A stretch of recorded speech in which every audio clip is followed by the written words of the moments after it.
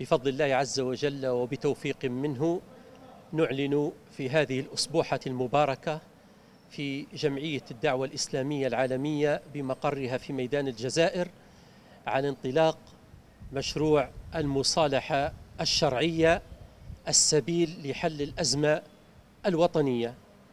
هذا المشروع وهذه المبادرة جاءت عملا بقول الله عز وجل لا خير في كثير من نجواهم إلا من أمر بصدقة أو معروف أو إصلاح بين الناس ومن يفعل ذلك ابتغاء مرضات الله فسوف نؤتيه أجرا عظيما.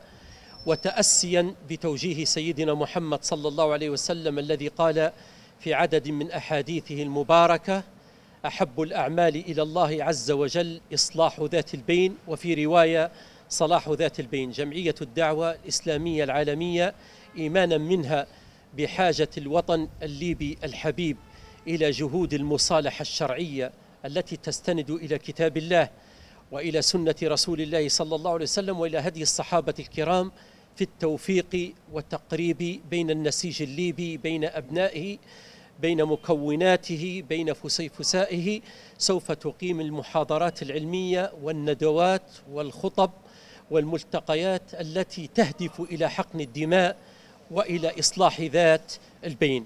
أيضا نعلن اليوم ونحن فرحين مستبشرين بانطلاق النسخة الثانية من مسابقة حفظ القرآن الكريم الدولية العالمية عن بعد.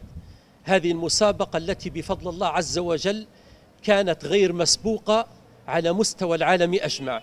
رغم الظروف رغم تردي الخدمات رغم جائحة كورونا إلا أن ليبيا الحبيبة إلا أن جمعية الدعوة الإسلامية العالمية استطاعت أن تلد هذا العمل الرباني المبارك وأن تجمع العالم بكل قاراته في نسخة أولى في العام الماضي في شهر ذي الحجة.